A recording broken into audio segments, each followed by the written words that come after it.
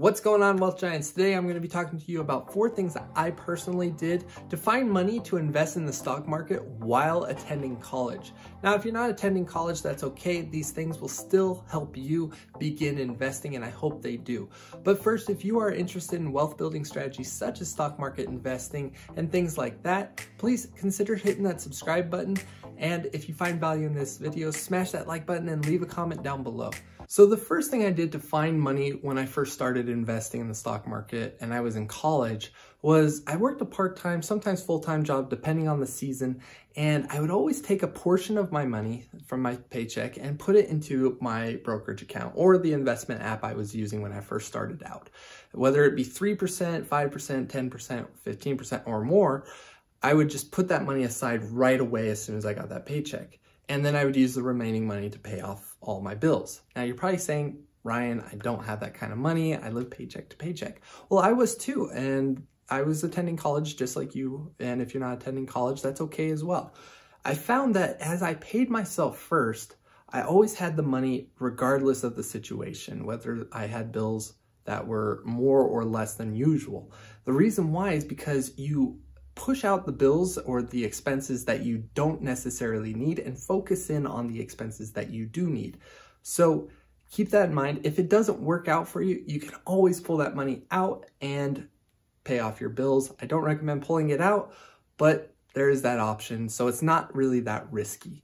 Now, the second thing I did to build money up to invest in the stock market was I opened up an Acorns account. Now, there's other apps just like it that you can invest with. And what they do is they round up. So you link your bank account and your credit cards and your debit cards. And every single time you make a purchase, say I made a purchase of $1.50, it would round it up to $2 and it would take that 50 cents and invest it into my Acorns account. And they invest into ETFs.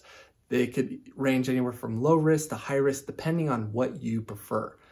And so I also added an extra $20 a month, sometimes 100 depending on how much extra money I had into that Acorns account. Now you're probably thinking, do those apps even work? Well, let me show you my numbers that I, when I was closing my account and how much money I actually made from it. So when I closed my account, I had $1,787 in change when I closed my account. I pulled that out and put it into my TD Ameritrade account. And when I closed it, I had $23.14 built up in dividend money. And I had $67 and change in net gains. Now, you're probably sitting here thinking, yeah, but how long did that take? Well, when I really got serious about it, I was only in it for about six to eight months. So not very long to build up all that money. And it fluctuated up to like $130 at one time. Unfortunately, I didn't pull out at that time. But after a while, I just felt I could probably do better now. I have more time on my hands. I'm going to start investing my own money into whatever I want. So I pulled it all out, closed my uh, Acorns account.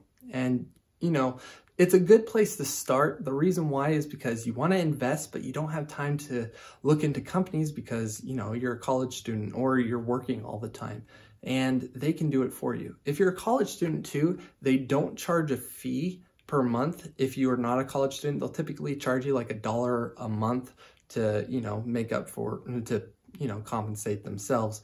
And if you have anywhere from $4,000 to $10,000, somewhere in that range, they'll start charging you a percentage. Now, you know, I would never let it get up to $4,000. That's when I would feel more comfortable investing my own money into whatever I feel like. So there's that. Now, the third thing that I've done and still do to this day, it's not necessarily for everyone. Some people can't do it. Some people won't do it. And that's perfectly fine, but let me explain it. And that is donate plasma. Now, before you click away thinking, no, no, no, no, no, I'm not doing that. Um, let me explain. It's about $340 a month that you can gain. You donate twice a week in a seven day period of time and they it's tax free. They don't charge you taxes for it because it's a donation. You know, they're not paying for your plasma, they're compensating you for your time. On top of that, you're producing medications for people who can't produce particular types of proteins. So it's a win-win. Um, on top of that, you sit in a bed, you can do your homework, you can study stock market investing, you can read a book the entire time you're on the bed. uh, donating. So it's kind of cool. It's kind of like donating blood, but you know, you could do it more frequently and you get paid for it. If you're not sure of what places do that kind of stuff, uh, there's Biomat USA, there's BioLife, there's CSL, there's Octapharma, there's multiple different types of plasma centers. If you Google plasma center, typically it'll show up which plasma centers are in your area. Unfortunately, not all areas have a plasma center. If your veins are not good, they're probably not going to take it. If your health is bad, they're probably not going to take you, but you can always go in and find out. Um, and if you fear at the sight of blood, chances are it's probably not the best for you. But it's something I've done. I still do it, and all the money that I get from it, I put directly into the stock market. It's like 300 bucks, which is typically around how much people recommend putting into the stock market. So it's pretty cool. Uh, the last thing that I have done, I don't recommend doing it, but it is an option and I'm just going to share it with you just because I've done it. And I took out one student loan in my entire time going to college and I took a portion of that money and I put it into the stock market and I invested with it. Uh, I gained a little bit of extra money too, so that was kind of cool. Now, risks with this is that this money is for your education, and if you lose it, you can't use it for your education. So obviously, that's a downside of it. Um, and on top of that, if you need it for your education, I recommend not doing that.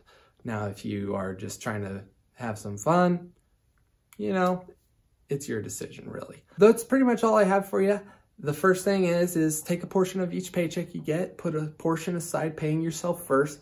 The second thing, open up a account with some sort of place that does roundups. That way you can slowly gain some money without having to worry about it because it's very unnoticeable. It's just loose change pretty much. Um, the third thing, you could donate plasma. I, I know it's not for everyone, but it is still something I've done and still do. And then the last thing is, is if you want, you can use a portion of your student loan. Don't use all of it and you know, as I said, I don't recommend it.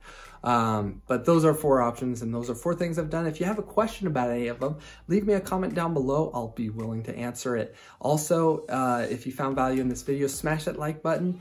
And if you haven't already, please consider subscribing to my channel if you found the information that I gave you valuable. And I will see you in the next video.